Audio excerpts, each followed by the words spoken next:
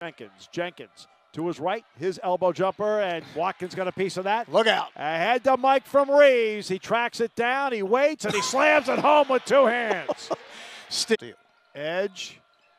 Carr gets the steal. Carr stumbles to the floor. At the wire, throws it up for the floor and good. And the Nittany Lions close it with a spectacular. 231 Penn State, 1750 left. Reaves over the shoulder. Watkins. Basket counts and a foul. What a great pass, Steve.